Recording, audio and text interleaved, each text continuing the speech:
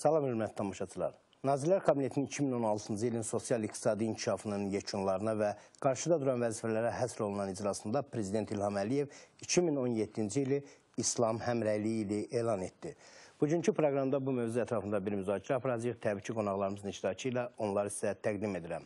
Dini qurumlarla iş üzrə Dövlət Komitəsinin sədr müavini Gündüz İsmailov, Siyasi İnnovasiya və Texnologiyalar Mərkəzinin rəhbəri Mübariz Əhmədoğlu və ilahiyyatçı Erşad Miri. Xoş gördük hər birinizi. Gündüz müəllim, ilk olaraq sizdən başlayaq. 2017-ci ilin İslam həmrəylik ili elan edilməsi hansı obyektiv şərtlərlə bağlıdır? Əgər bu gün İslam dünyasına nəzər yetirsək, İslam dünyası istər ərazi, istər əhali baxımından dünyanın önəmli bir hissəsini tutur. Bəli. E, təxminən dünyanın dörddə birini. Amma buna baxmayaraq e, mövcud istər iqtisadi nöqteyi nəzərindən, istər sosial-iqtisadi nöqteyi nəzərindən, istər hərbi nöqteyi nəzərindən İslam dünyası inkişaf etmiş ölkələrlə müqayisədə çox geridədir. Yəni dünyada e, iqtisadi potensiala baxdıqda, dünyanın o ümumi dünya iqtisadiyyatında faiz dərəcəsinə baxdıqda çox kiçik bir rəqəm ifadə edir. Eyni zamanda dünyada hərbi güc nöqteyi nəzərindən, siyasi potensial nöqteyi nəzərindən, elmi e, təhsil nöqteyi nəzərindən, elmi texniki tərəqqinin inkişafı nöqteyi nəzərindən dünya ölkələri ilə müqayisədə, Avropa ilə, Qərb ilə müqayisədə çox geridə qalır. Təbii ki, bunun e, onlarla səbəbi var. Amma mənə elə gəlir ki, əsas səbəblərdən biri İslam dünyasında həmrəyliyin olmaması ilə bağlıdır.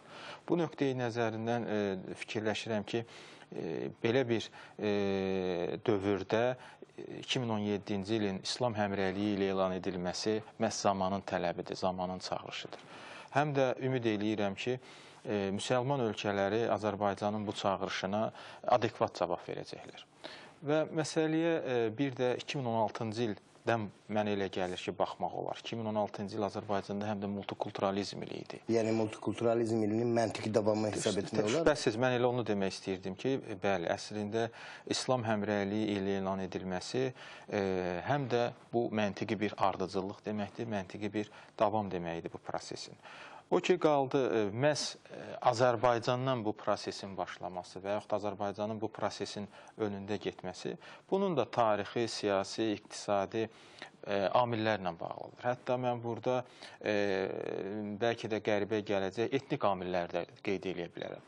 Nəyi nəzərdə tuturam? Azərbaycan xalqı etnik xüsusiyyətlərinə görə, dünyəviliyə münasibətinə görə, eyni zamanda müasirliyə, elmə, təhsilə münasibət baxımından nəinki müsəlman ölkələrində, eyni zamanda qərb ölkələri ilə də, qərb xalqları ilə də müqayisədə daha mütərəqqidir. Məhz bunun məntiqi, yəni bu arqumentlərə arqumentlərlə izah eləmək lazım gələrsə, mən nümunələr də deyə bilərəm. Məsələn, müasirliyə münasibət baxımından bütün türkdilli xalqlar, hətta onların içində Azərbaycanlılar daha belə deyək, müasirliyə, elmə, texnikaya, eyni zamanda mədəniyyətə, hətta qadın hüquqlarına münasibətdə müsəlman xalqlarla türkdilli xalqlar fərqlənirlər, xüsusilə də Azərbaycan xalqı müsbət mənada fərqlənir. Bunun məntiqi nəticəsidir ki, Azərbaycan müsəlman şərqində ilk demokratik dünyəvi dövlət qurub. Bunun məntiqi nəticəsidir ki, Azərbaycanda ilk opera Azərbaycanda yaranıb, ilk qəzet Azərbaycanda yaranıb, ilk balet Azərbaycanda yaranıb və Azərbaycan qadınlara seçki hüququ verən ilk müsəlman ölkəsidir. Hətta bu məsələdə Avropanı, Amerikanı belə qabaqlayıb. Azərbaycanda qadınlara seçki hüququ 18-ci ildə, 1918-ci ildə verilib, amma Amerikada 21-ci ildə. Yəni bütün bu bunları deməkdə məqsədim odur ki, əslində məhz bu həmrəylik nöqteyi nəzərindən Azərbaycanın multikulturalizm sahəsində olduğu kimi İslam həmrəyliyi sahəsində də belə demək mümkündürsə avanqard funksiyasını yerinə yetirməsində həm tarixi, iqtisadi, bir daha təkrar edən mədəni amillər e, amillər var. Və şübhəsiz ki, e, cənab prezidentin e, bu sahədəki iradəsi də çox önəmlidir. Azərbaycan dövlətinin, yəni bu tarixi amillərlə yanaşı Azərbaycan dövlətinin həyata keçirdiyi siyasət, diplomatik uğurlar, e, bilirsinizmi, İslam dünyasında Azərbaycandan böyük ölkələr də var. E, əhalisi 100 milyonlarla ölçülən, 10 milyonlarla ölçülən, iqtisadi nöqteyi nəzərindən daha güclü olan, iqtisadi potensialı daha güclü olan ölkələr var. Amma bu gün həmin o ölkələrə baxdıqda, hətta müsəlman ölkələri arasında da münasibətlər heç də ürək açan deyil. Amma Azərbaycandan baxdıqda Azərbaycanın bütün müsəlman ölkələri ilə münasibətləri yüksək səviyyədədir. Belə demək mümkündürsə, Azərbaycan bütün müsəlman ölkələri tərəfindən bərabər səviyyədə qəbul edilən bir ölkədir. Bu nöqteyi nəzərindən e, düşünürəm ki, cənab prezident e, məhz ideyaları ilə zamanı qabaqlayan bir liderdir və e, bununla bağlı tədbirlər planı da hazırlanır. Bir ay ərzində cənab prezidentə təqdim olunacaq. Düşünürəm ki, həmin tədbirlər planının da miqyası imkan verəcək ki, biz bu qarşıda duran hədəflərə nail ola bilək. Onda İslam həmrəyliyi ilə qarşımıza hansı vəzifələr qoyur mübarizmə? Əslində e, ilin İslam həmrəyliyi ili elan olunması Azərbaycanın bir dövlət olaraq inkişafının konseptual tərkib hissələrindən biri. Yəni biz haçansa mərhələ gəlib çatmalıydıq.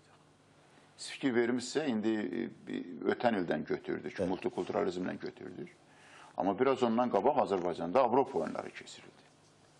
İndi bu illərdə İslam həmrəyliyi ilə yanaşı Azərbaycanda İslam oyunları keçiriləcək. Məsələ İslam həmrəyliyi elan olub İslam oyunlarına görə. Yəni əslində Azərbaycan həm coğrafi baxımdan, həm sivillik baxımından Avropa ilə Asiyanın, Qərblə Şərqin, Xristiyan dünyası ilə müsəlman dünyasının qovşağında yerləşəndir. Azərbaycanlılar, bayaq Gündüz müəllim bizim milləti məhz lazım olan kontekstdən çox gözəl Bəli. təqdim elədi. Amma mən bir dənə də şey əlavə edeyim ki, biz Azərbaycanlılar ən çox Avropalaşmış müsəlmanlar. Yəni bəzi keyfiyyətlərimizə görə həqiqətən Avropalılar da belə deyək, yəni ötüb keçmişik. Bu çox müsbət hadisədir. O Azərbaycanlıq komponent, elə onun etniki komponenti, dini komponenti, mən xüsusilə dini komponentini qoyaram ki, bayaq o e, deyək ki, sadalanan uğurların qazanmasına şərait yaratdıq. Yəni ilk dövləti də biz yaratdıq.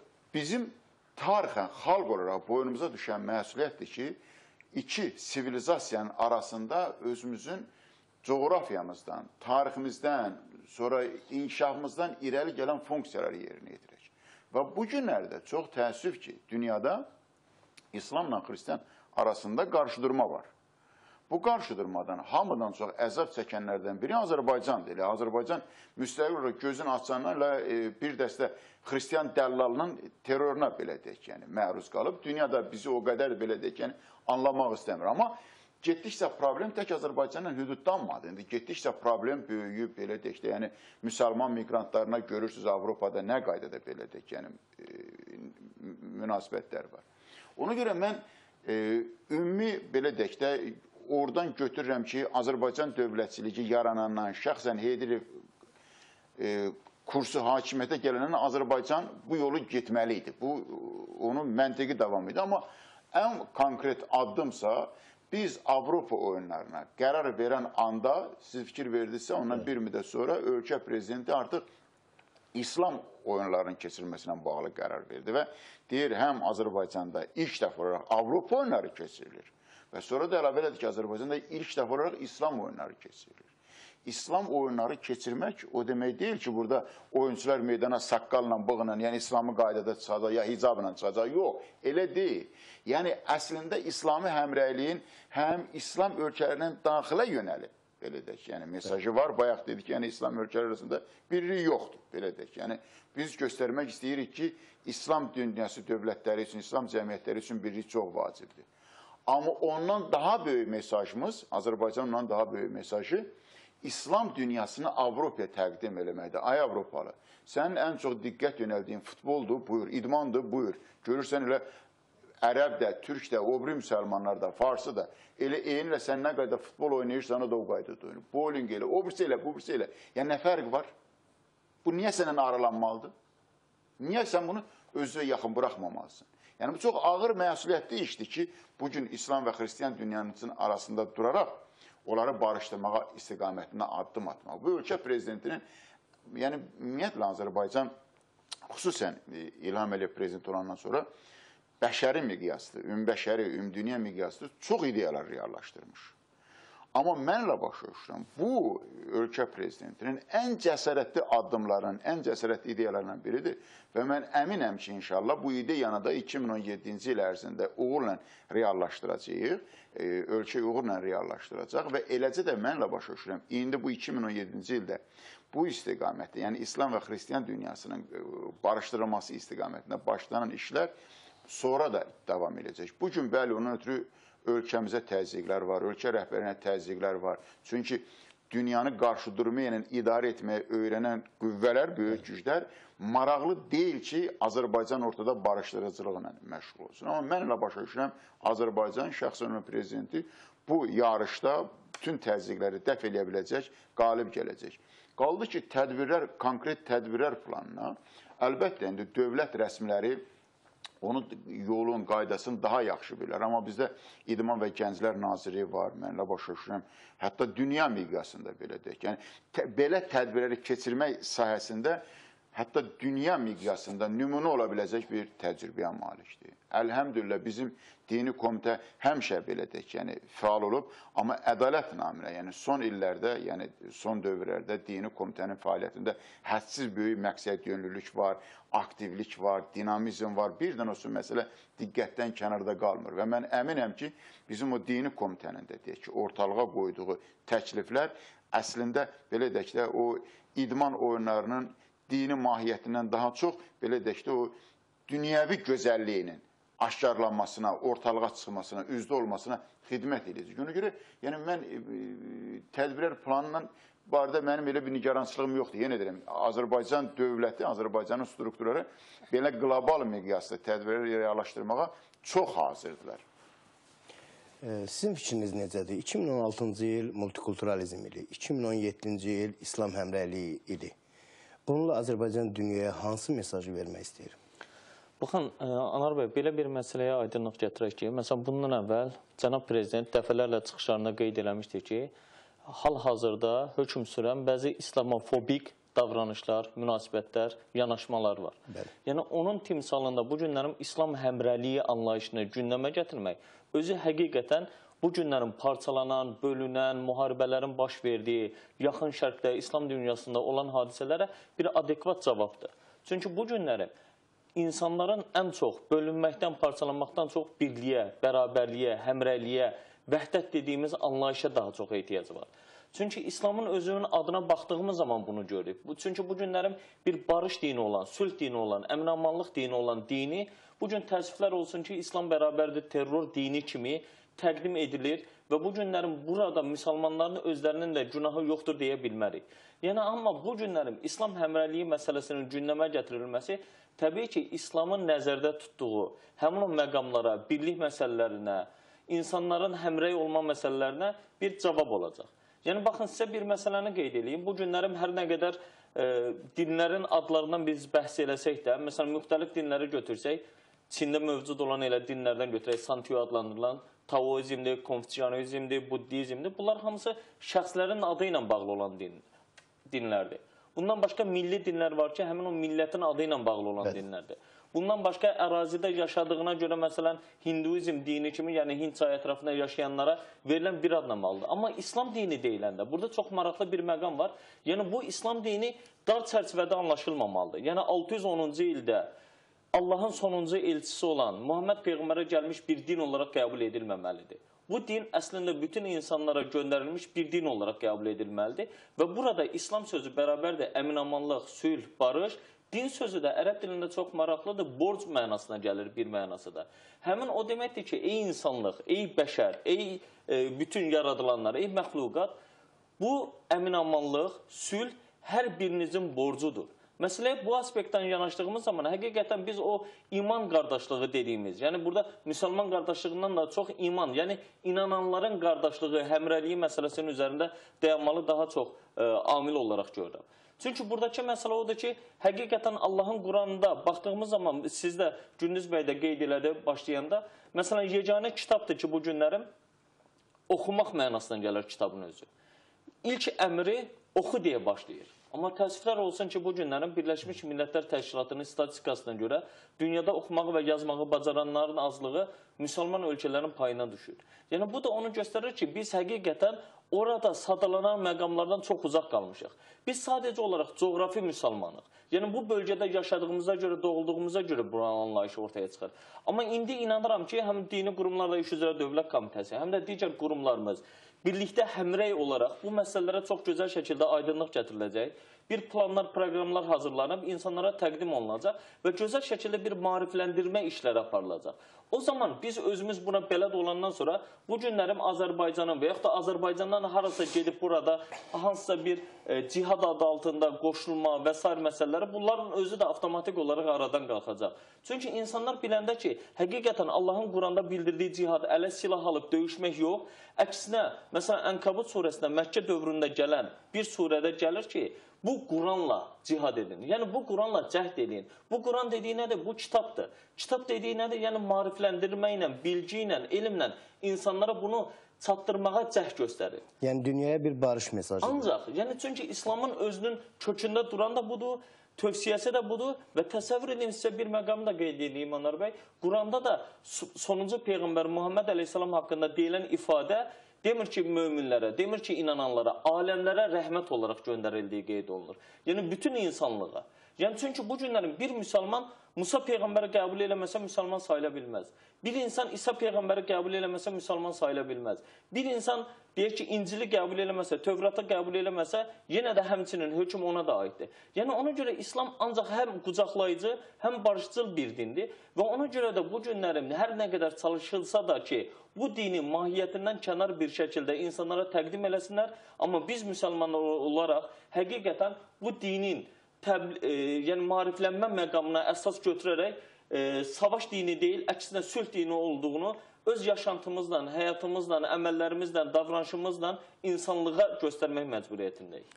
İslam həmrəliyi ilə Azərbaycanın İslam ənənələrinin yaşadılması missiyasını üzərinə götürdüyü anlamına gəlirmi? Əlbəttə ki, məsələnin bir də bu bir tərəfi var.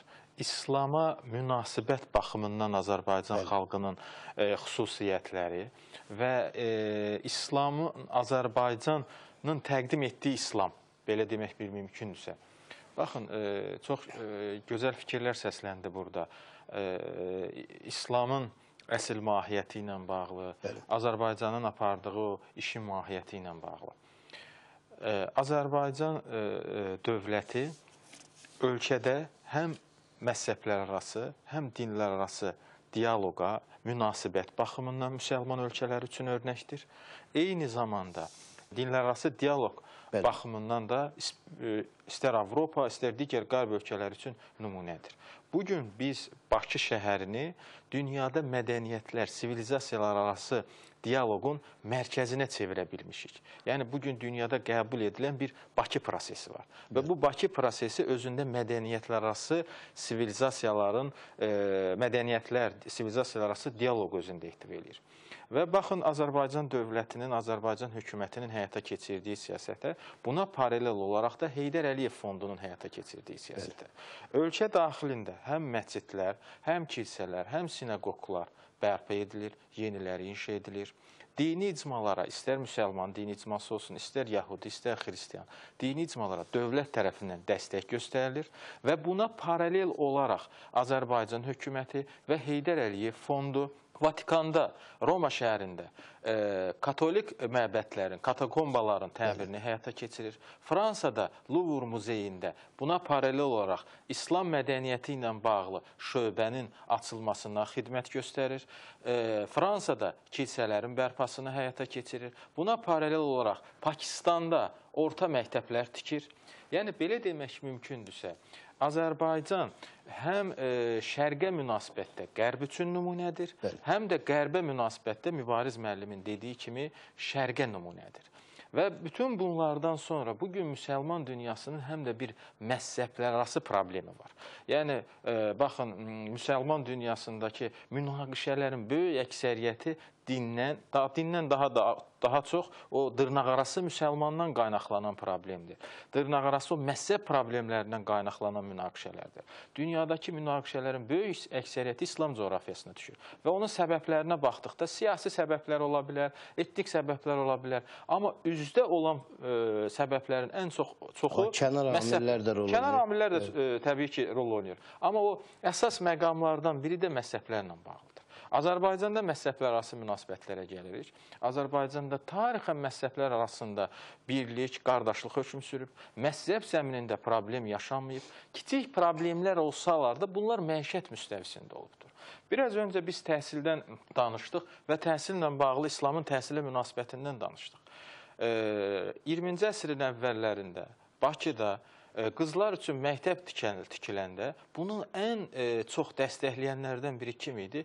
Ruhanilər idi. Məhz Azərbaycan ruhanisi idi. Amma bu gün İslam aləminə baxırsınız, 21-ci əsrdə müəyyən ruhanilər var ki, qadınlarla bağlı, qadınların seçki hüquqları ilə bağlı, elmi texniki tərəqqi ilə bağlı elə fətvalar verirlər ki, bu fətvalar nəinki o insanları, nəinki o dırnaqarası alimləri, bütün müsəlman dünyasını gözdən e, salır. Yəni belə demək mümkündürsə, bu gün həm də İslamın doğru təqdimatına ehtiyac var. Cənab prezidentin e, beynəlxalq konfranslarda, UNESCO-nun mənzil qərargahında, eyni zamanda müxtəlif səviyyələrdə konfranslarda çıxışlarına fikir verir. Çıxışlarda əsas İslamla bağlı nüanslar nəyə hesablanıbdır? İslam terror dini deyil, İslam sülh dinidir, qardaşlıq dinidir. Əgər siz o e, mühacirləri qəbul etməyə hazırsınızsa, amma mühacirlər arasında sən müsəlmansan deyə səni qəbul etmirəm, amma başqa dinin mənsubusansa səni qəbul edirəmsə, bu ayrı seçkilikdir.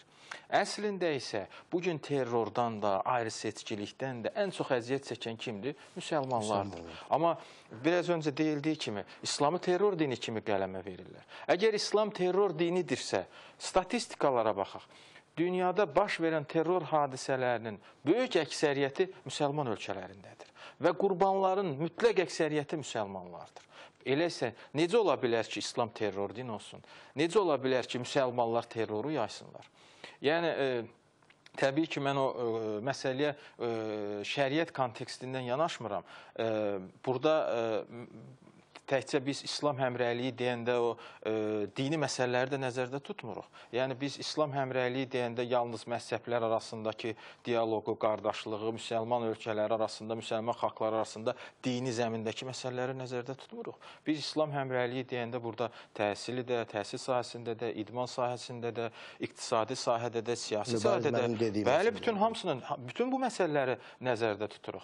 Bu gün İslam dünyasında e, nəinki e, bu dini zəmində, iqtisadi, siyasi məsələlərdə də həmrəyliyə böyük ehti- ehtiyac var. Baxın, bu günlərin BMT-dən sonra e, say baxımından, miqyas baxımından ən böyük beynəlxalq təşkilat İslam Əməkdaşlıq Təşkilatıdır.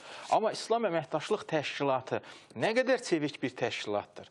Biz e, bu təşkilatı müsəlmanlar arasında birləşdirici bir təşkilat olaraq, e, barışdırıcı bir təşkilat olaraq arzu etdiyimiz səviyyə çatdıra bilmişikmi? Təəssüf ki. Və bütün bunlardan sonra Azərbaycanın belə bir məntiqi sual e, yarana bilər. Azərbaycanın potensialı, Azərbaycanın missiyası imkan verə biləcəkmi ki, qarşıya qoyulan bu hədəflərə nail olsun? Mənə elə gəlir ki, imkan verəcək. E, sə- səbəb kimi, arqument kimi nəyi demək istəyirəm? Baxın, Azərbaycan bir neçə il öncə BMT-nin Təhlükəsizlik Şurasının qeyri-daimi üzv seçildi. Həmin üzv seçilərkən Azərbaycanın e, verilən səslərin ölkələr Azərbaycanı dəstəkləyən ölkələrin sayına diqqət eləyin. 100-dən artıq ölkə Azərbaycanı bu məsələdə dəstəkləmişdi.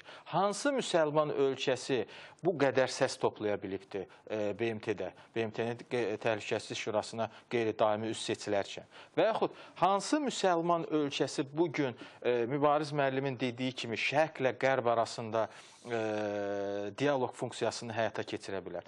E, bu nöqteyi nəzərdə mən düşünürəm ki, Azərbaycanın diplomatik e, imkanları Eyni zamanda Azərbaycanın o dediyim tarixi, mədəni imkanları, potensialı, Azərbaycan xalqının potensialı və bizim təbii ki, e, İslam dünyasındakı Mübariz müəllim dediyi kimi coğrafi mövqeyimiz imkan verəcək ki, biz bu qarşımızda duran məqsədləri inşallah reallaşdıra bilək. Söyləndi İslam və terror məsələsi. bu gün beynəlxalq terror İslamla eyniləşdirilir və bu gün dünyada bir İslama qarşı çirkin kampaniya aparılır.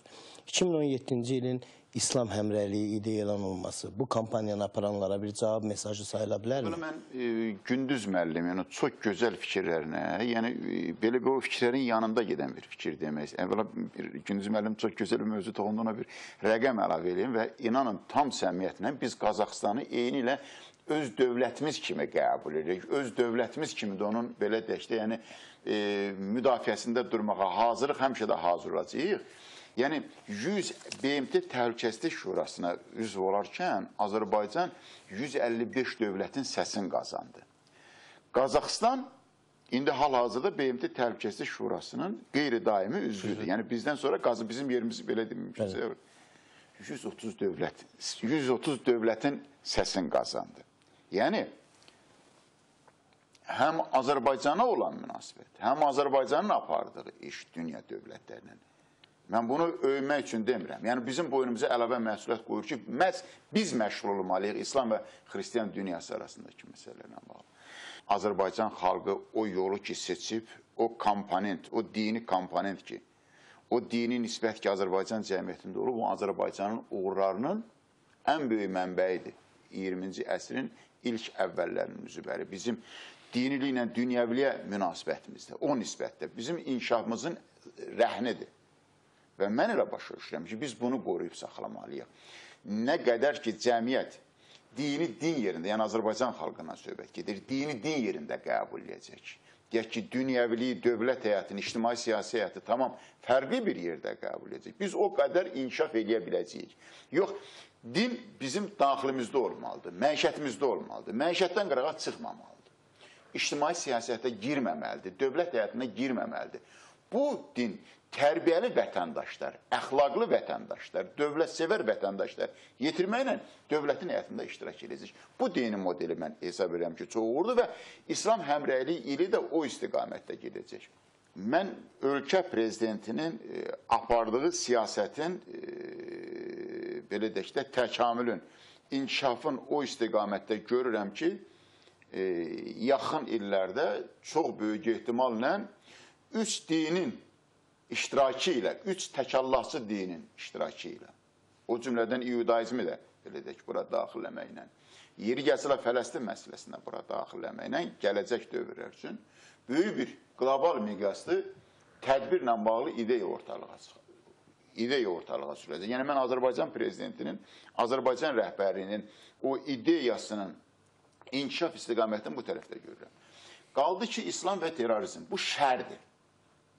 Bunun İslam'a ait olması şerdir. İslam terora, terörün İslam'a ait olması özür isterim. Avrupalıların cahilliyinin, sabahsızlığının göstericisidir. 81-ci ilin iyun ayında Fransa prezidenti Mitterrand'ı ermənilər əsir götürdü. Belə demək mümkünsə. Yəni girdilər iclasa tələb elədilər ki, filan filan e, e, deyək ki, sən Türkiyədə erməni soyqırımı tanınması ilə bağlı bəyanat verməlisən. 81-ci il. Van əməliyyatı.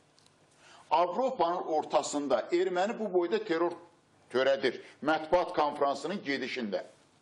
Bəli. O vaxta qədər bir dənə müsəlman deyil mənə. Əgər müasir dövrdə terrorizm deyiləndə, yəni dövlət siyasətinə qanlı yolla, qeyri-qanlı yolla, silahlı yolla müdaxilə nəzərdə tutulursa, cəmiyyətin həyatına, birinci ən böyük nümunəsi budur. Yaxşı, sən demək o vaxt erməni terrorizminin qabağını alsaydı, müsəlmanlar görərdi ki, dünyada ədalət var, haqq var. Sən özün, Avropa, terrorizmi legitimləşdirirsən, dövlət həyatına müdaxilə rısağı kimi bunu legitimləşdirirsən, bunu əsas verirsən, əsaslandırırsan. Ben de yarım ağıl, ağıllı müsəlman terrorçu deyil. Müsəlmanlar içində terrorçular var. O ağlı yarım olan, axıra qədər savadı olmayan müsəlman da fikirləşir ki, Avropa elə bunu istəyir də. Bu elə Avropa üçün adi bir şeydir. Avropanın siyasi həyatına, dövlət həyatına girən bir şeydir. də orada legitim bir şeydir. Və buna niyə istifadə eləməsin ki? Mən haqq qazandırmıram. E? Bəli. Yəni mən demək istəyirəm ki, bu gün dünyada terrorizm deyilən şeyin kökündə Avropanın deyək ki, terrorizmə qarşı yumuşaq ifadədir ikili standart. İkili standartıdır, amma bu çox yumuşaq ifadədir. Mən elə başa düşürəm ki, bütün Avropanın müasir, indi tarixi getmirəm mən, yəni müasir dövrün baxanda bu həqiqətən, yəni bu günün özündə də elə başa düşürəm, Avropa məhz özünün səhvinin belə də ziyanını çəkir ki, indi Azərbaycan hər variantda da elə 81-ci ildə Fransada, Parisdə Van əməliyyatını reallaşdıran erməni bu gün birbaşa Azərbaycanla üzbəyüzdə Azərbaycanı hər tərəfli təhdid eləyir. Terrorla başlayıb indi torpağımızı işğal edib, separatçılıqla başlayıb indi torpağımızın yeri gəlsə Dağlıq Qarabağ aid olmayan torpaqlarımızı işğal edib. Amma Azərbaycan, yəni deyək ki, dini zəmində deyilən bu İslam həmrəyliyi ilində ilə Azərbaycanın qabağına qoyduğu məqsədlərdən biri də o cür amillərə qarşı mübarizə aparmaqdır və mən sizə indi bəlkə də bizim mövzuya o qədər uyğun deyil, bir dənə misal çəkmək istəyirəm. Yəni Azərbaycanın hakimiyyətinin ermənilərə qarşı, erməni terrorizminə qarşı, erməni separatizminə qarşı mübarizəsinin qabağının olması bir dənə sizə misal çəkəcəm. Bu mətbuatda gedir, amma e, tamaşaçılar onun mahiyyətini tutmayıb. Deyirlər ki, ATƏT-in Yerevan ofisinin fəaliyyəti dayandırılır. Əslində e, elə ikili standartdır belə deyək də. Yəni e, indi ATƏT-in Yerevan ofisinin rəhbəri e, ermənidir. Ermənidir, Bolqar ermənisidir, Argo Avakov. Ondan biraz qabaq e, ATƏT-in Bakı ofisinin rəhbəri Azərbaycan idi. Azərbaycanlıya Fransa Azərbaycanlısına, Fransa vətəndaşı olan Azərbaycanlıya ATƏT-in Bakı ofisinin rəhbəri eləmə icazə vermədilər. Amerika, Bayer, ATƏT-dəki, Amerikan ATƏT-dəki səfiri. Amma böyük məmnuniyyətlə bunu təsdiq elədilər, Azərbaycan veto qoydu. Vermədi Azərbaycan. İndi mən elə başa düşürəm ki, Azərbaycan həm erməniyə, həm ATƏT-ə, həm Avropa cəmiyyətinə vacib mesaj göndərir ki, bax, siz bu cürə ikili standartla məşğulsunuz. Elə qoy bu fikri biraz da inkişaf elətdirim ki, yəni mən elə başa düşürəm. Bu mesajın, bu addımın dalında hökmən bütün e, əsirlər və meyidlərin mübadiləsi reallaşdırılmalıdır. O cümlədən Çingiz Qurbanovun meyidi qaytarılmalıdır. Dilqə Məçərov, Şahbazov qaytarılmalıdır. Bakı ofisinin işi yeri gəlsə bərpa olunmalıdır. Yəni mən elə başa düşürəm, indinin özündə də o Avropa təfəkkürü ki, 81-ci ildə terrorizmi qoyub, erməni terrorizmini, xristiyan terrorizminin bünövrəsini qoyub, gəlib indi müsəlmançılıqda kök axtarır, səbəb axtarır. İndi həmin adamları mən elə başa düşürəm. Məhz bu İslam həmrəyliyi ilində, o il ərəfəsində rəsmi Bakının verdiyi mesaj bu da bir soyuq duş rolunu oynaya bilər, bir sağlamlaşdırıcı rolunu oynaya bilər. Yəni Azərbaycan hökuməti rəsmi Bakı bütün variantlarla çalışır ki, həm vəziyyətin mahiyyətini açıqlasın Avropaya, həm də e, belə deyək də, yəni İslam və Xristian dünyası arasında belə deyək də bir barışıq yaransın. Siz maarifləndirmə məsələsinə toxundunuz. E, İslam həmrəyliyinin təbliğində medianın üzərinə hansı vəzifələr düşür? Yəni cəmiyyəti maarifləndirmək üçün hansı addımlar atılmalıdır? Həqiqətən çox ciddi bir məsələdir bu. Bu məsələ ilə bağlı faktiki olaraq dövlət qurumu e, birbaşa olaraq həm jurnalistlərlə, həm mediada çalışan ə, şəxslərlə birbaşa münasibəti var və hal-hazırda da onunla bağlı elə bir maarifləndirmə məsələsi həyata keçirilir. Yəni bu mediada, jurnalistikada peşəkarlıq və yaxud da ixtisaslaşma məsələsi gündəmə gəldiyinə görə bu məsələnin üzərinə çox ciddi bir məsələ düşür. Məsələn, bu günlərim hər hansı bir xəbər dərhal özü araşdırılmadan mətbuata verilməsi bir doğru yanaşma deyil. Çünki Allah Quran-ı Kərimdə də deyir ki, sizə biri xəbər gətirdiyi zaman mütləq onu araşdırın deyə. Yəni bu araşdırmanın üzərinə çox məsələ düşür. Ona görə də bu günlərim bizim əslində İslamla bağlı məsələnin terror dini kimi təqdim edilməsi medianın günahıdır. Çünki bu cürə məsələlər mediaya verildiyinə görə onun nəticəsində də bu günlərim təəssüflər olsun ki, bəzi qıt düşüncəli media nümayəndələri, bəziləri həmin o məsələləri başqalarından ancaq tərcümə etməklə həyata keçirirlər. Amma faktiki olaraq bu günlərim dünyaya, gəlin açıq danışaq, informasiyanı ötürən CNN-dirsə, BBC-dirsə, Euronews-dursa və s. digərləri bunları, həmin o xəbərləri onlardan götürməyə çalışır. Bugün İslam dünyasını ortaya çıxara biləcəyi hansı bir media qurumu var? Deyək ki, Qatarın ortaya çıxartdığı Əl Cəzirəsi var. Yəni bugün həm ingilis dilində, həm deyək ki, ərəb dilində ortalığa çıxar. Ona görə birinci növbədə mediada bu məsələlərin gedilməsi üçün, e, işıqlandırılması üçün ciddi mənada bilən ekspertlərin özlərindən şəxsən müraciət edilərək o məsələlər öyrənilməlidir. Bundan başqa, deyək ki, bu günlərim həqiqətən biz necə bir eyni masa ətrafında oturub bu məsələni gündəmə gətirmişiksə, söhbət ediriksə, müzakirə ediriksə, fərqli düşüncələrdə olan insanların da mətbuatda, televiziyada və yaxud da hər hansısa bir debat tərzində bir araya gətirilərək o fikirlərini fikir halında e, ortalığa çıxarmaları və bunu insanlar tərəfindən hansının qəbul ediləcəyini onların ixtiyarına buraxmaq daha gözəl olar. Bundan başqa yenə də deyirəm, saytlar vasitəsilə deyək ki, bu günlərim necə ixtisaslaşmış bəzi saytlar varsa, dinlə bağlı da müxtəlif ixtisaslaşmış saytların ərsəyə gətirilərək insanlara təqdim edilməsi daha məqsədə uyğun olar. Ona görə də bu prizmada məsələyə yanaşdığımız zaman inanıram ki, mən mətbuatda İslamla bağlı və yaxud da dinlərlə bağlı düzgün maarifləndirmə məsələsi aparılacaq. Əgər bu günlərim saytlar xüsusi hansısa bir IP arxasınca qaçmağın əvəzinə insanlara bu məsələnin daha düzgün necə çatdırılmasını düşünə bilsələr, bu məsələ aradan qalxacaq. Çünki bu günlərim həqiqətən Qurana baxdığımız zaman görürük ki, biz Quran müxtəlifliyi, fərqliliyi Allahın bir ayəsi olaraq təqdim eləyir insanlara. Yəni biz insanlara da ona görə ya, e, fərqliliyə də, fərqli düşüncələrə də bu prizmadan yanaşmalıyıq. Məsələn sizə bir şey deyim, çox maraqlıdır. Bu günlərim dünyanın müxtəlif ölkələrində məsəl olmuş bir insan olaraq qeyd edirəm. Azərbaycanımıza mövcud olan bu tolerantlığı, bu dözümlülüyü e, başqa yerlərdə e, tam eyni ilə tapmaq həqiqətən çətindir. Çünki burada insanlarla çox rahatlıqla fərqli fikirlərdə olsa belə, düşüncədə olsa belə, dində olsa belə, məzhəbdə olsa belə rahatlıqla bunu müzakirə eləyə bilirsən. O müzakirə şəklində qalır. Amma bu günlərim onu çıxardıb hər hansı fərqli bir şəkildə davranışa, əmələ töksən, o zaman Suriya və sair kimi ölkələrin aqibəti olur. Ona görə bu prizmada məsələyə yanaşıb, yəni dinin düzgün şəkildə çatdırılmalıdır. Baxın, sizə bir məsələni qeyd edeyim. Muhammed Peyğəmbərin zamanında bir e, insanın cəsədi aparıldığı zaman Peyğəmbər ayağa qalxır. Peyğəmbərin yanında da fərqli düşünən insanlar var idi. Bəzilər deyirlər ki, bunu qəribsiyirlər. Deyirlər ki, ey Peyğəmbər, bilirsənmi o gedən bir Yahudi cənazəsidir. Peyğəmbər ona və bu günümüzə çox gözəl, şamil olan bir söz deyir. Deyir, o bir insan idi. Yəni, məsələyə kimisə hansı dini mənsubiyyətinə görə deyil, insanlıq baxımından yanaşır. Ona görə də biz bu prizmadan yanaşdığımız zaman həqiqətən o zaman görəcəyik ki, bizim ayrı-seçkilik kimi gördüyümüz, ixtilaf kimi gördüyümüz, fərqlilik kimi gördüyümüz məsələlər əksinə bizim inkişafımıza təsir eləyə biləcək. Bizim daha geniş düşünməyimizə e, müsbət təsiri olacaq məqamlardır. Ona görə də medianın üzərindən bu məsələdə çox ciddi işlər düşür deyə düşünürəm. Mən e, bir məqamda qeyd etmək istəyirəm. Əslində İslamın sağlam qaynaqlar əsasında təbliğ olunması çox əhəmiylidir. Təəssüf ki, bu günlərim İslam İslam dünyasından gedir. Heç e, İslam dünyasından kənar coğrafiyanı mən nəzərdə tutmuram. İslamın təbliğatı təəssüf ki, əksər vaxtları məhzəb üzərindən aparılır. Bu gün Ərəb baharından sonra Suriyada, İraqda, Misirdə, Liviyada, Tunisdə yaranmış vəziyyətə baxaq.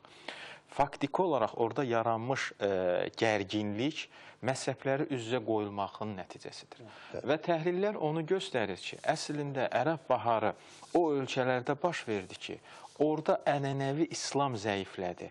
Ənənəvi İslamın yerinə qeyri-ənənəvi, radikal düşüncəli İslamın təbliğatı nəticəsində zəmin yaratdı.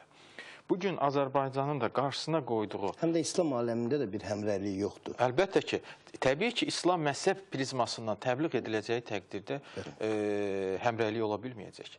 Yəni bizim bu İslam həmrəyliyi çərçivəsində Onda bu suala da cavab axtaraq ki, Prezident İlham Əliyevin bu təşəbbüsü müsəlman dövlətləri tərəfindən necə qarşılanacaq? əgər həmrəyliyi müsəlman ölkələri, müsəlman coğrafiyası həqiqətən də istəyirlərsə, biz e, bu məhzəb prizmasından bir dəfəlik imtina edilməlidir. İslam yalnız və yalnız məhzəblər üstündə təbliğ olunmalıdır. Necə ki, bugün Azərbaycan məhzəblər üstü bir siyasət aparır. Yəni, əgər İslam məhzəb zəminində, təriqət zəminində, dini cəryan zəminində təbliğ ediləcəksə, həmrəylik deyə bir şey olmayacaqdır. Bunun nümunəsi Suriyada baş verən proseslərdir. Bunun nümunəsi İraqda baş verən proseslərdir. Bəli. Təəssüf ki, məhz o Suriyada, İraqda dini ideoloji zəminində o baş verən proseslərin digər müsəlman ölkələrinə proyeksiyasına belə cəhdlər göstərilir. Bu proyeksiyada, bu cəhdlərdə Qərbin də e, siyasi dairələrinin müəyyən qədər rolu var, amma bu prosesdə müsəlman ölkələrindəki dairələrin, hətta dini dairələrində rolu var. O nöqteyi nəzərindən, o nöqteyi nəzərindən Biz İslam həmrəyliyi deyəndə həm də məzhəb, dini cəryan, təriqət müstəvisindən bu proseslərə yanaşmanı bir kənara qoymağın tərəfdarıyıq. Eyni zamanda da dinin siyasiləşdirilməsinə qarşıyıq.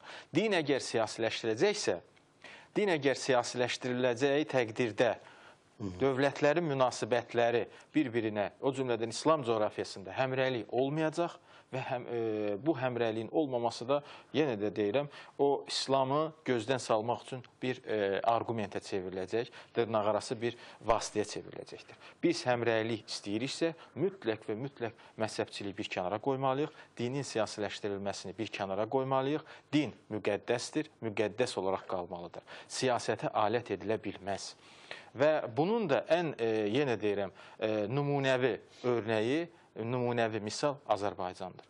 Azərbaycanda həm sünnilər, həm şiələr yaşayır və tarixən bunlar arasında biraz öncə qeyd etdiyim kimi tarixən vəhdət prinsipi olubdur. Evet. Hətta məqsəd yönlü şəkildə sünnilərlə şiələri qarşı-qarşıya qoymaq istəyən ideologiyalar belə təbliğ edilsə də buna nail olmayıbdılar. Və bu gün Azərbaycanda qılınan vəhdət namazları. Azərbaycanda keçən ildən başlayaraq vəhdət namazları qılınır. İndi e, belə bir ritorik olaraq da sual vermək istəyirəm. Neçə müsəlman ölkəsi bu prosesə qoşulubdur? Və əgər qoşulubdursa, qoşulubdursa, həmin bu proses davamlı bir xarakter alıbmı? Bu gün e, sünni şiə qardaşlığından, İslam qardaşlığından, İslam vəhdətindən danışan, bu mövzuda konfranslar keçirən onlarla qurum var. Azərbaycanı nəzərdə tutmuram, İslam dünyasını nəzərdə Bəli. tuturam. Onlarla ölkə var. Hətta müsəlman e, din xadimləri olub, siyasi xadimlər olubdur ki, İslam vəhdəti ilə bağlı çağırışlar elibdilər. Amma bu çağırışlara neçə kitablar dəfə, yazıblar. Kitablar yazıblar, qalaq-qalaq kitablar yazıblar. Evet. Amma bu çağırışlara neçə e, e, din xadimi, neçə e, siyasi xadim cavab veribdi. Və öz ölkəsində bu çağırışlar Əslində eləyərkən... bu vəhdət namazları həmin müsəlman dünyasına bir mesajdır. Əlbəttə ki. Və mən e, təsəddüfi deyil ki, mən multikulturalizm ilinin məntiqi davamı evet. olaraq siyasi e, İslam həmrəyliyini nəzərdə tutdum. Multikulturalizm ilində başlamışdı vəhdət namazları. Bu isə e, İslam həmrəyliyi ilidir. Yəni e, bir sözlə onu demək istəyirəm ki, E, təbii ki, biz İslam həmrəyliyi deyəndə təkcə dini məsələləri, məzhəb məsələləri nəzərdə tutmuruq. E, biraz öncə qeyd etdiyim ki, idmandan, mədəniyyətdən, siyasətdən, iqtisadiyyatla yanaşı həm də bu məsələləri nəzərdə tuturuq. Həmrəylik müasir dövrün İslam dünyasının e, tələbidir. Müasir dövrün çağırışıdır. Və müsəlman ölkələrinin İslam coğrafiyasının mənə elə gəlir ki, o e, sülh yaranmasının, vəhdət yaranmasını bu çağırışlara necə reaksiya verilməsindən asılı olacaq qeydiniz var. Bəy, mən e, bir məsələni deyirdim. Həqiqətən Gündüz bəyə çox təşəkkür edirəm. Çox yerində məqama toxundu. Həm məzhəblər üstü bir məsələnin olması, həm də insanlara bu İslamın o əsas mahiyyəti üzərində birləşmələri. Baxın, bu günlərim həqiqətən müsəlmanlara bunu soruşursan. Quranı inkar edirsən, xeyr. Quranımız birdir, birdir. Allahımız birdir, birdir. İmanımız birdir, birdir. Kitabımız birdir, birdir. Qibləmiz birdir, bəli, birdir. O zaman bu birlər durduğu halda biz niyə digər xırdalıqlar, təfərrüatlar və s. üzərində ayrılmalıyıq? Yəni bunları müzakirə edə bilərik, amma bizi birləşdirən əsas dəyərlər var. Baxın, mən sizə bir şey deyim. Həqiqətən Azərbaycanda bu günlərim cümə namazlarında sadəcə e, Gündüz bəyin dediyi məsələ o vəhdət namazı deyil. Bundan əvvəllər də, illərdir bu günlərim Göy məscid kimi tanınan Əjdər bəy məscidinin özündə də digər məzhəb nümayəndələri birlikdə namaz qılırlar. Birlikdə cüməni qıla bilirlər. Amma inanın sizə bir şey qeyd edeyim, təəssüf verici bir hal kimi Avropada da oldum bir neçə ölkəsində təzəlikcə. Təsəvvür eləyin, nə Hollandiyasından, nə Belçikasından, nə Almaniyasından, nə İtaliyasından, nə digər ölkələrində, Fransasında məscidlər var, müsəlmanların yaşadıkları bölgələr var. Məscidlərin hər biri ə, fərqləndirilib. Bu deyək ki, İcəməcənin məscididir, bu filan kəslərin məscididir, bu filan kəslərin və birlikdə belə eyni məzhəbin nümayəndələri belə birlikdə namaz qılmayıb gedib başqa bir məscid açırlar ki, fərqli şəkildə qılaq. Amma bunu görən sizə bir misal da verim oradan. Hollandiyada İslamı qəbul edən bəzi insanlar var. Hollandlar, yerli Hollandlar var. Onlar bu ayrı seçkiliyi görəndən sonra, bu müsəlmanlar arasında fərqləri görəndən sonra onlara baxıb İslama gəlməmişlər. Quran vasitəsilə gəlmişlər və onların özləri bir yerə yığışıb bir məscid tikdilər ki, biz həmin o müsəlmanlardan fərqli olaraq birliyin və bərabərliyin, bura gələn istənilən məzhəbdən, qrupdan, cəmaatdan, təriqətdən olan insanlar gəlib birlikdə ibadət eləyə bilərik. Ona görə bu günlərim həqiqətən bu çox vacib amildir. Baxın sizə bir məqamı da qeyd edeyim. Bu günlərim artıq bəzi yerlərdə, məkanlarda ibadət Azərbaycan özündə ibadət yerləri açılır. İnsanlar gedib orada ibadətini eləyə bilər. Amma bəzi yerlərdə, ölkələrdə bunun məsələn adını qoyurlar namaz otağı, bəzilərində nə bilim prayer room, ibadət otağı. Ona görə bu ibadət amili çox vacibdir ki, dinindən, məzhəbindən asılı olmayan insanlar gəlib orada ibadətini edib rahatlıqla öz e, vəzifəsini yerinə yetirə bilərlər. Ona görə bu günlərim həqiqətən bizim bu məsələlərə, bu prizmadan yanaşmamız, bizi birləşdirici məqamların üzərində durmağımız ən vacib amillərdən biridir və inanıram ki, Azərbaycanın bu gün başlatdığı illərdir davam edən məsələ daha da genişlənərək digər coğrafiyalara da sirayət edəcək. Prezident onu da vurğuladı ki, Azərbaycan İslam aləmində böyük hörmətə malik bir ölkədir. İslam Əməkdaşlıq Təşkilatının rəhbərləri ölkəmizə xüsusi qiymət verirlər. Bu etimadın kökündə nə dayanır? E, ekspertlərin dediyi məsələlərmi? Hürrəm, e, bayaq elə Gündüz müəllim də toxundu o məsələyə ki, yəni siz o suala cavab verəndə, yəni mən deyim ki, e, İslam oyunları ortalığa qoyulandan sonra, ümumiyyətlə İslam oyunları ortalığa e, e, rəsmiləşdirilənə qədər də İslam Əməkdaşlıq Təşkilatının e, üzvləri Azərbaycanla bağlı çox xoş münasibət deyirlər. Bizim ən əsas problemimiz olan Dağlıq Qarabağ məsələsində bir mənalı şəkildə Azərbaycanın mövqeyini dəstəkləyirdilər. Amma ədalət naminə demək lazımdır ki, bu İslam həmrəyliyi oyunları e, vaxtı yaxınlaşdıqca elə İslam əməkdaşlığı təşkilatında Azərbaycana marağı daha da artıb. Yəni siz gördünüz, Türkiyədə keçirilən tədbirdə kontakt qrupunun yaradılması ilə bağlı qərar qəbul olundu. Yəni bu o deyə şeydir ki, e, İslam Əməkdaşlığı Təşkilatı Dağlıq Qarabağ problemi ilə bağlı təkcə bəyanatlar verməyəcək də, verdiyi bəyanatların praktiki mənzərəyə yönəlməsi istiqamətində də müəyyən addımlar atacaq. Prezidentin siz dediyi statında daha vacib, e, elə eyni o dərəcədə bir vacib məqam da var idi ki, o da ondan ibarət idi ki, müxtəlif, hətta bir-biri ilə düşmən vəziyyətində olan İslam dövlətləri də ayrı-ayrı da Azərbaycana çox xoş münasibətdədir. Yəni siz fikir vermisinizsə, yəni gizli deyil ki, bəzi İslam dövlətlərinin arasında çox ciddi problemlər var. Amma deyək ki, məsəl üçün, e, tutaq ki, Pakistan İran arasında problem var, amma görürsünüz ki, Pakistanın prezidenti, baş naziri gəldi Azərbaycana, nə boyda belə deyək ki, yəni e, əməkdaşlıq başlandı və yaxud Səudi Ərəbistanın digər ərəb müsəlman dövlətlərindən tutaq ki, İranla problem var. Səudi Ərəbistanla bəli, bəli, Azərbaycana münasibəti necədir bilirsiniz. Amma ən paradoksalı məsəl üçün də mən deyərdim ki, məsəl üçün elə bir yeri gəlsə İranın özü ilə bağlıdır. Siz təsəvvür eləyin. İranla Azərbaycan arasında reallaşan iqtisadi kommunikasiya layihələri hər iki dövlətin əməkdaşlığını tamam yeni bir keyfiyyət mərhələsinə çıxartdı. E, prezident e, e, Elə ötən il üçlü görüş də O üslü görüş öz yerində. Yəni bu çox üstün, bu Avrasiya materiki üçündür. Bu təkcə Cənubi Qafqaz, Mərkəzi Asiya, bütövlükdə Avrasiya materikində sabitliyin bir fundamental bünövrəsinin qoyulması məsələsidir. Yəni İran istəsəydi imtina eləyərdi. İran bilirdi ki, Azərbaycan İslam oyunlarını keçirdəcək. İran bilirdi ki, burada Səudi Ərəbistanda iştirak edəcək, Qətərdə, Küveytdə, İraqda hamısı iştirak Bəli. edəcək. Amma yəni İran getdi. İran istəsəydi ged verməzdi. Amma daha vacib, çox detallı bir məsələ prezident dedi orada. Yəni e, bunu hər tərəfli mənlə başa düşürəm bu ideyəni qəbul etmək lazımdır ki, yəni e, Naxçıvanın blokadası e, İran ərazisi vasitəsilə həm də İran ərazisi vasitəsilə aradan qaldırıla bilər. Yəni o Naxçıvan Məşhəd dəmir yolu e, iki işə düşdü qatar. Demək Naxçıvan, Təbriz, e, Tehran oradan gedir Məşhədə. İndi bu e, Təbrizdən çıxıb Tehrana tərəf gedəndə hal-hazırda əsas marşrut kimi Qəzvin götürülür. Amma yeri gəlsə Rəş də götürülə bilər. E, lap Qəzvinin özünü götürək. Qəzvin asları Rəşd, sonra Qəzvindir. Bəli. Demək, e, buradan Bakı Astara e, dəmir yolu marşrutu da, yəni Bakı Astara e, demək Rəşd, Qəzvin. Demək, e, Naxçıvandan çıxan Azərbaycan qatarı Qəzvində e, Bakıdan Astara vasitəsilə çıxan Az Azərbaycanın başqa bir qatarı ilə deyək ki, məsəl üçün Qəzvində rastlaşa bilər. Yəni Qəzvin və yaxud biraz da İran tərəfində iş görülsə, hətta Rəşd özü demək Azərbaycan üçün e, Azərbaycanın daxili məsələsi üçün həlqəvi bir dəmir yolu rolunu oynaya bilər. Bax prezident bunu deyirdi. Yəni İran bilirdi ki, biz İslam oyunlarına gedirik. Yəni ən böyük uğurlar da məsələ bu dövrdə əldə olundu. Yəni deməkdə məqsədim odur ki, İslam dövlətləri arasında ziddiyyət var. Bunlar dərin ziddiyyətlərdir. Amma çox təəssüf ki, yəni sintetik, süni ziddiyyətlərdir. Bayaq e, həmkarlarım dedi, mütəxəssislər dedi ki, yəni məzhəb üzərində qurulan e, deyək ki, ziddiyyətlərdir, amma çox təəssüf ki, yəni dərindir. Amma onun Azərbaycana dəxli yoxdur.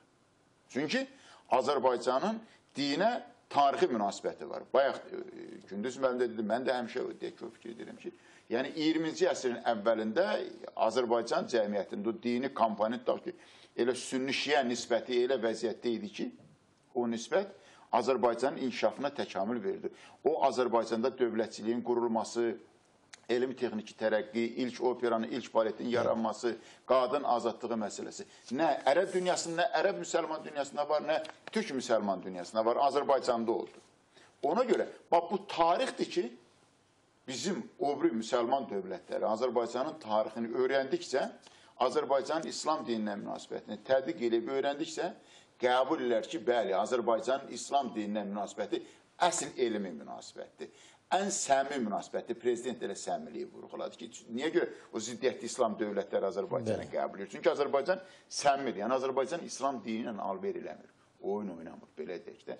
İndi İslam həmrəyliyinə töhfə vermək istəyir. Əlbəttə bu səmimiliyimiz elə onu göstərir ki, məhz İslam həmrəyliyi üçün ən yaxşı barış məkanı Azərbaycandır və İslam oyunları da sadəcə o İslam həmrəyliyinin İslamla İslam dünyasının, Xristian dünyasının barışmasında sadəcə vasitələrdən biridir. Prezident də bildirdi ki, bu oyunlara yalnız idman turniri kimi baxılmamalıdır. Əlbəttə bu çox böyük barış missiyası olan, barış potensialı olan, çox böyük siyasi, geosiyasi resursu olan bir məsələdir. Cəmi iki dənə dövlət var. Türkiyədir, Azərbaycandır. Həm İslam e, qurumlarında üzdülər, həm də Avropa. Bəli. Məsələn, Avropa Şurasının üzvüyük. Başqa dövlət yoxdur. İndi Türkiyə çox iri məsələlərlə məşğuldur. Bəzi qabağında ayrı-ayrı məsələlər var. İndi Azərbaycan daha fürsət bildi ki, bu məsələlərlə məşğul olsun. Həm də Azərbaycan xalqı mən sözümün əvvəlində dedim. Biz yəni Türkiyə coğrafi olaraq sərhəddədir, amma ədalət naminədir. Azərbaycan həm dövlət olaraq biz də e, Qərblə Şərqin sərhədindəyik, Avropa Asiyanın sərhədindəyik. Amma ən vacib keyfiyyət odur ki, Azərbaycanlılar, Azərbaycan xalqı, Azərbaycanlılar bir daha deyirəm ki, ən çox Avropalaşmış müsəlmanlardır. Biz e, hər iki sivilizasiyanın eyni dərəcədə daşıyıcısıyıq. Yəni dünyada dünyada Azərbaycanlıdan başqa həm xristian sivilizasiyasına, həm də indi İslam sivilizasiyası termini Avropalılar qəbul eləmir, o cümlədən İslam sivilizasiyası. Yəni İslam sivilizasiyası ilə Azərbaycanda özünü göstərir. Kim İslam sivilizasiyasını görmək istəyir, gəlsin Azərbaycana baxsın. Gəlsin Azərbaycan, Azərbaycan xalqı ilə tanış olsun. Ona görə Azərbaycanlılar yeganə xalqdır ki, hər iki sivilizasiyanı, yəni həm İslam sivilizasiyası, həm Xristian sivilizasiyası eyni dərəcədə özündə birləşdirir. Ona görə bu Azərbaycan xalqının tarixi missiyasıdır və əlhəmdülillah ki, Azərbaycanın bugünkü rəhbəri də, Azərbaycan xalqının bugünkü idarəçiliyi də rəhbəri də elə rəhbərdir ki, elə rəhbəridir ki, bu missiyanı dərk edib və reallaşdırmağa da potensialı var. Bayaq Heydərli fondundan söhbət getdi. Yəni Azərbaycanın özündə min dənə problem var. Amma görürsünüz ki, yəni Heydərli fondu deyək ki, Roma e, Romada deyək ki, katakombaları xristian məbədlərinin təmirinə məşğuldur. Yəni məqsəd onda nədir?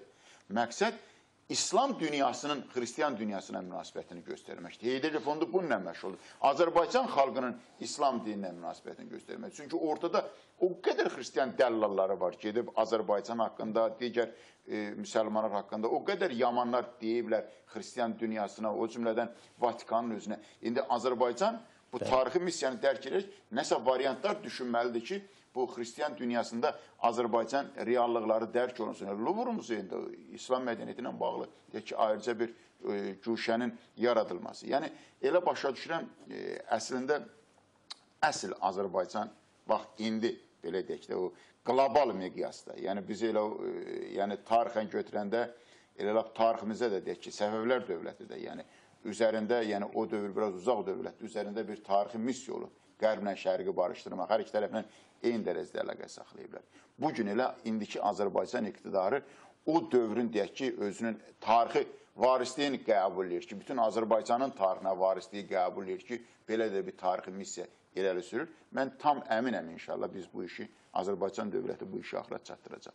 İslam həmrəyliyi ilə dünya ölkələrinin İslam dünyasına baxış bucağının dəyişməsinə nə qədər yardım göstərəcək? Mən buna inanıram. Həqiqətən Azərbaycan bu il ərzində görəcəkləri işlərlə və gördükləri ilə buna bir nümunə təşkil eləyəcək və heç olmasa bir birləşdirici funksiyanı aparacaq. Çünki hissədə Quran-Kərimdə bir ayə var. Allah buyurur ki: "Və təsmu bihablillahi cəmiyan." Allahın ipindən hamılıqla möhkəm yapışın və parçalanmayın.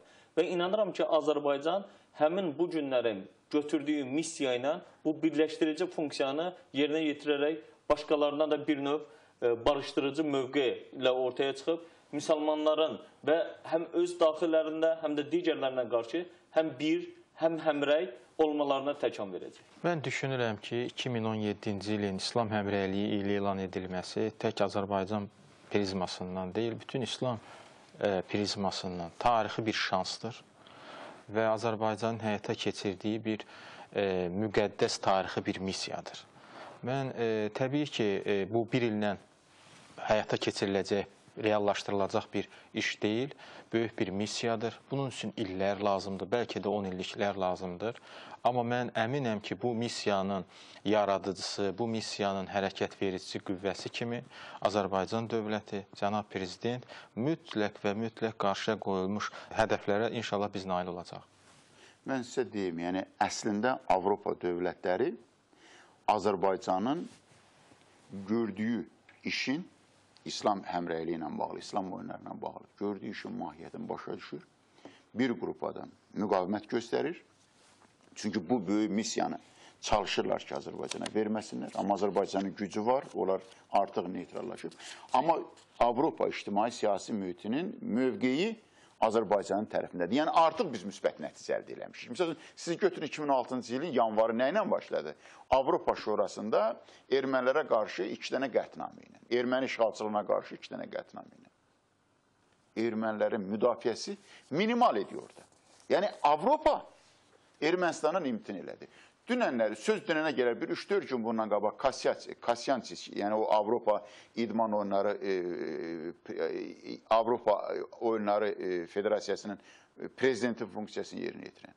Yəni yenidən gəlib Azərbaycanla danışıqlar aparmaq istəyir ki, e, Azərbaycan Avropa miqyaslı oyunların bir qismində təşkilatçılığın öz çiyninə götürsün. O nə deyən şeydir? O deyən şeydir ki, demək sabah İslam həmrəyliyi oyunları zamanı Azərbaycan rəsmi Bakı Avropanın rəhbərlərin hansı birini dəvət eləsə, onlar hamısı gəlib Bakıda İslam həmrəyliyi oyunlarının açılışında iştirak edəcəklər. Hətta bəlkə çox mümkündür ki, bir simvolik deyək ki, Avropa dövlətlərinin bəzilərinə və yaxud Avropa İttifaqının bir birləşmiş simvolik komandası adına bəlkə kimsə də hansısa bir komanda deyək ki, bu e, oyunlara qatıldı. Yəni bu artıq Avropada müsbət rəy yaradıb, bunun amilləri göz qabağındadır. İndi mən elə başa düşürəm, Azərbaycan rəhbərinin qabağında duran əsas məsələ o əldə olan uğurun daha da inkişaf elətdirilməsidir və buna da nail olacaq inşallah.